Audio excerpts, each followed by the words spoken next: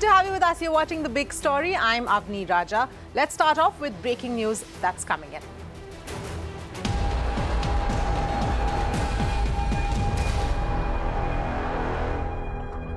The government has notified new rules under which the upper limit for termination of a pregnancy has been increased from 20 to 24 weeks for certain categories of women.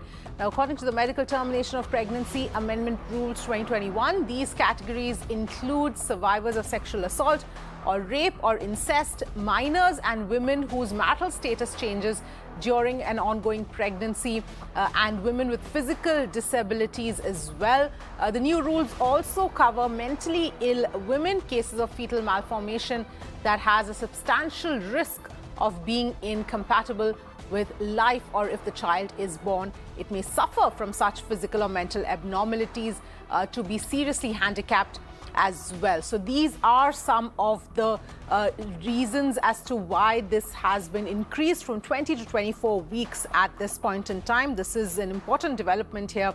Notification that allows abortion until 24 weeks. The upper limit was earlier 20 weeks. Now, for specific reasons, specific categories of women will be allowed to terminate their pregnancy until 24 weeks.